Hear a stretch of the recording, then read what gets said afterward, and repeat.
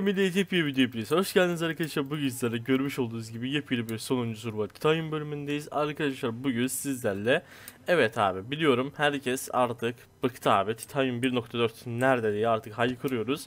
Titanium 1.4'ün kesin tarihi belli oldu.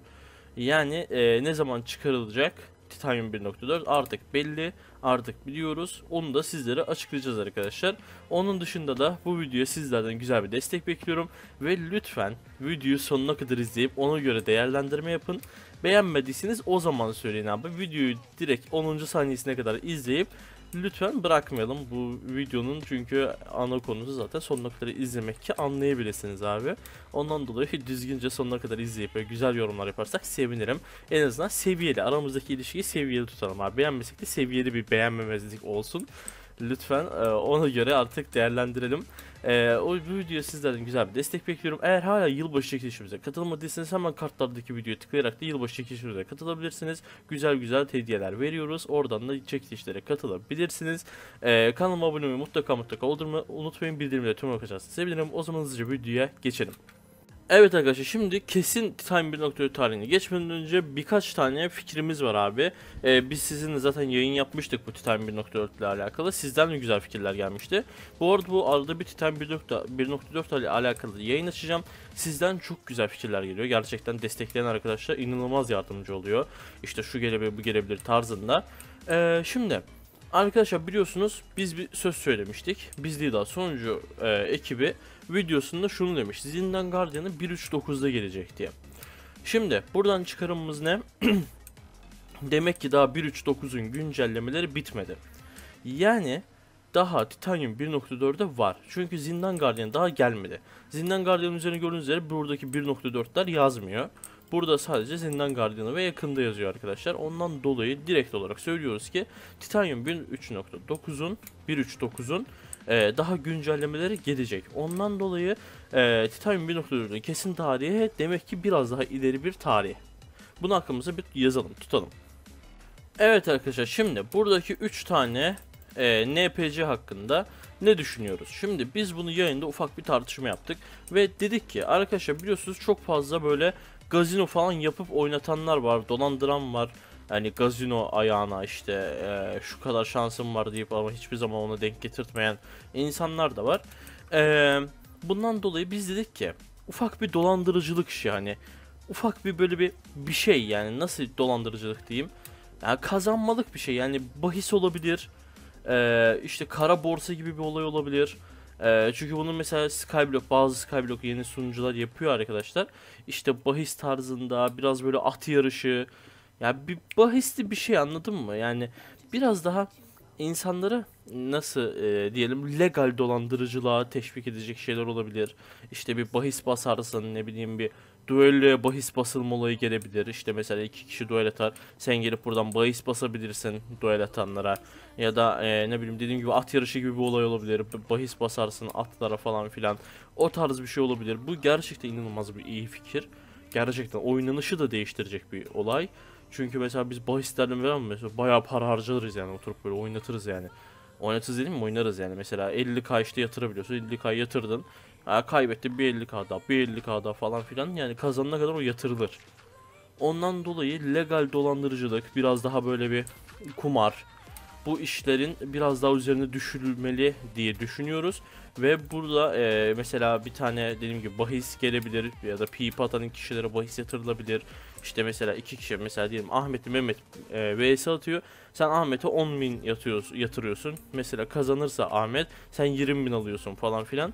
Yani bu tarz şeyler olabilir ama bu muhtemelen şeyle beraberinde getirir. Ee, nasıl derler? Ee, ne derler lan?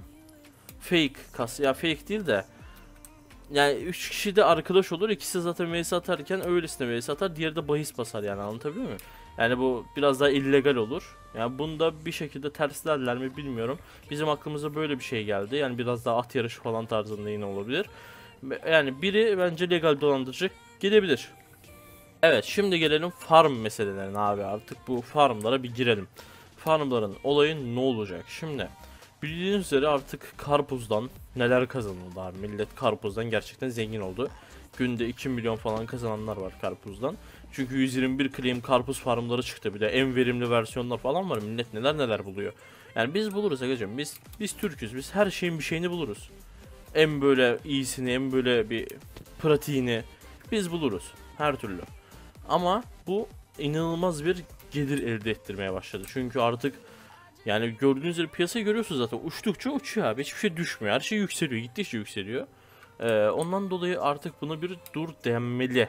Artık bu e, karpuzlar bu kadar hızlı artmamalı. Bu kadar hızlı üretmemeli. Ee, özellikle sulu sistemlere bir nerf gelmeli diye düşünüyorum. Ee, ve muhtemelen de Titanium 1.4'te veya Titanium 1.3, e, 1.3.9'un güncellemelerinde bir nerf bekliyorum.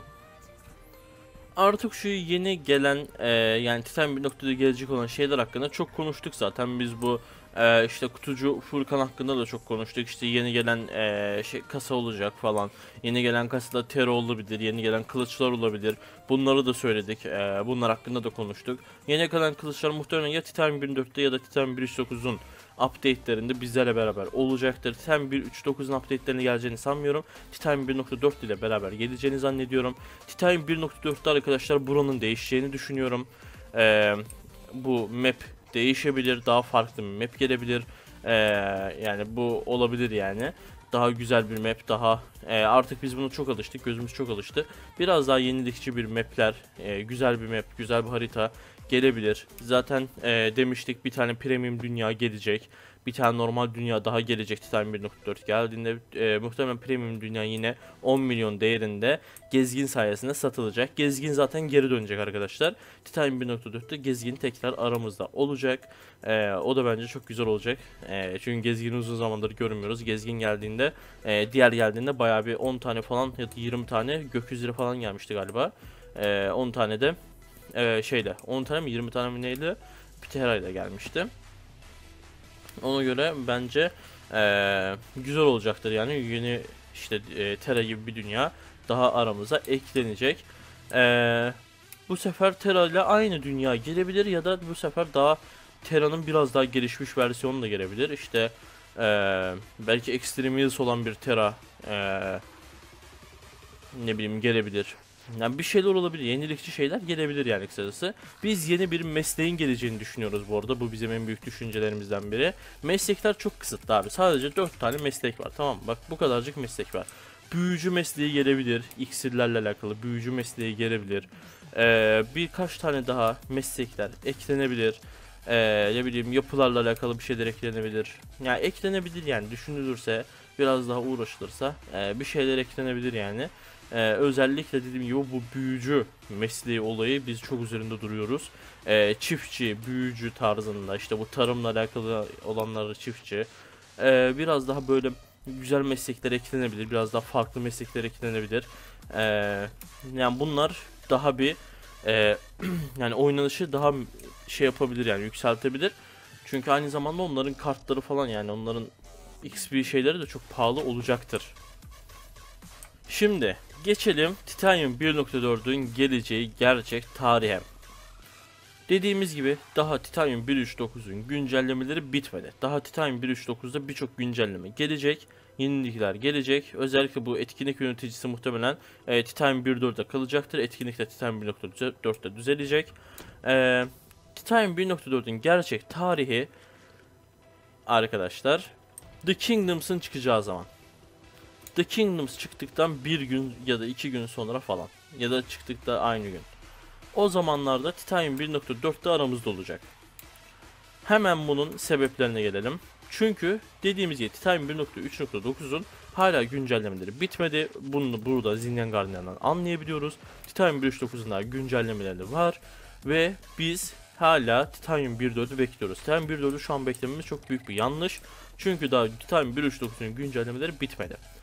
Yani bu demek oluyor ki bizim Titanium 1.4'ün güncellemesinin en az bir buçuk ayı var. Yani hani The Kingdoms'ın 100 günü falan var bildiğim kadarıyla. İşte 100 gün müdür ne kadardır artık bilmiyorum. Ee, ona göre de artık e, hesap yaparsak e, hala zamanımız gayet var bolca var. Titanium 1.3.9'a demek ki daha gelecek birçok şey var demek bu arkadaşlar. Özellikle farmlara muhtemelen Titanium 1.3.9'da el atılabilir ya da Titanium 1.4'de bekletilebilir. Ee, ama bence şimdiden el atılması en iyi seçim olacaktır. Çünkü çok fazla e, para kazanan arkadaşlar var. Ee, yani kısacası arkadaşlar uzatmıyor. Titanium 1.4'ün geleceği tarih Dikilmes'e çıkacağı zaman. Bu videomuzda da Titanium 1.4 hakkında yeni şeyler paylaştım sizlerle. Düşüncelerimizi paylaştım. Titanium 1.4'ü yayınlarımızda araştırmaya ve neler geleceğini tespit etmeye devam edeceğiz. Umarım da bu dediğimiz legal dolandırıcılık biraz daha eee, işte bahis falan tarzında olan şeyler çok güzel bir şekilde işlenerek bizim oyunumuza sunulur. Çünkü ben eminim ki inanılmaz bir ilgi toplayacaktır. Kendinize dikkat edin arkadaşlar. Yorumlarda sizlerin düşüncelerini de bekliyorum. Eee, lütfen kötü yorum yazsanız bile eee yani düşünüp yazalım. Ee, hani ön yargıyla yaklaşmadan yazalım arkadaşlar. Çok teşekkür ederim. Görüşmek üzere. Hoşçakalın. Kendinize dikkat edin.